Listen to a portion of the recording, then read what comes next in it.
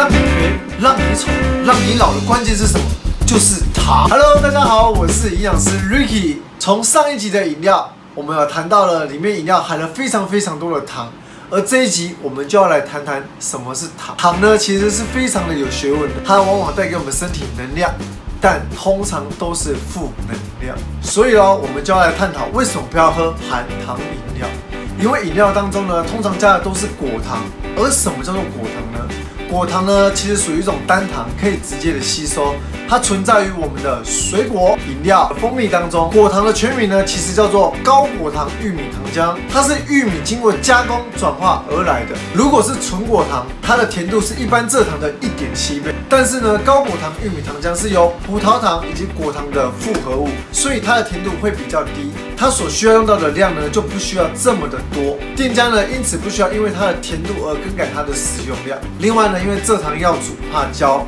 煮太浓呢，又会成结晶；放冷却以后呢，又会硬掉。制作起来是相当相当的麻烦。但高果糖浆就不一样，它有非常非常好的一个溶解度，而且制作起来很简单，成本呢也低，时间呢又快，所以在饮料店当中是非常的受欢迎。果糖呢，为什么这么恐怖？因为它进入人体以后，不需要胰岛素的帮忙，就可以直接吸收转化变成脂肪。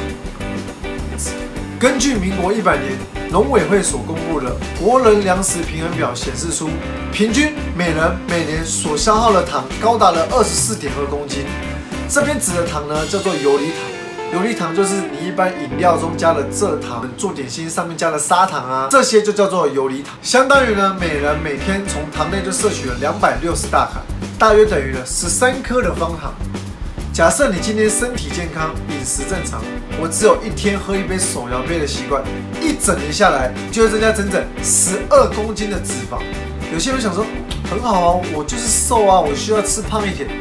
但你要记住哦，我刚刚讲的是脂肪，它不是肌肉，对你的身体就只有负担而已，而且还会增加以下几种风险：一、增加肥胖风险。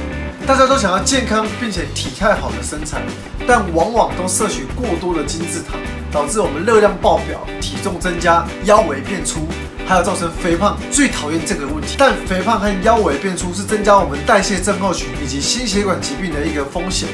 而代谢症候群呢，就是由一群造成心血管疾病的危险因子的总称。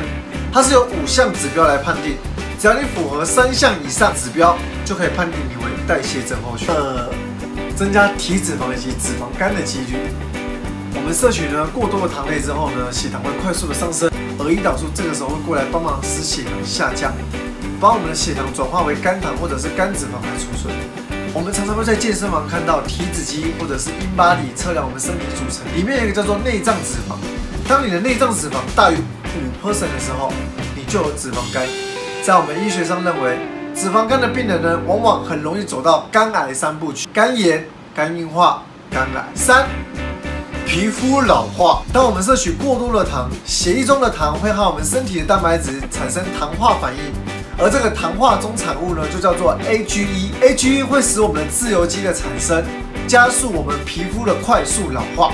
葡萄糖呢，的确很重要，但不要为了给你的身体得到葡萄糖而去吃太多像是砂糖、蔗糖、高果糖玉米糖浆这种 simple sugar。当我们身体一下子吃到这种 simple sugar 的时候，血糖会快速上升，会快速的叫我们的胰岛素出来，胰岛素呢就会把我们的血糖带到我们的肝脏、脂肪、肌肉去消耗或储存。但正常的情况来说，我们都是能量过剩。所以都会把它转成脂肪。营养师金语：当我们糖类吃的越多，胰脏的负担就越大，糖尿病的机会也越大。所以呢，忠告大家一句话：不要再喝含糖饮料啦。好，今天的影片就到这边，谢谢大家的收看。如果想知道更多健康的资讯，记得每周三来营养师 Ricky's Time。如果喜欢我的话，记得帮我下面按个喜欢加订阅，还有小铃铛。哎，记得再帮我留言。拜拜。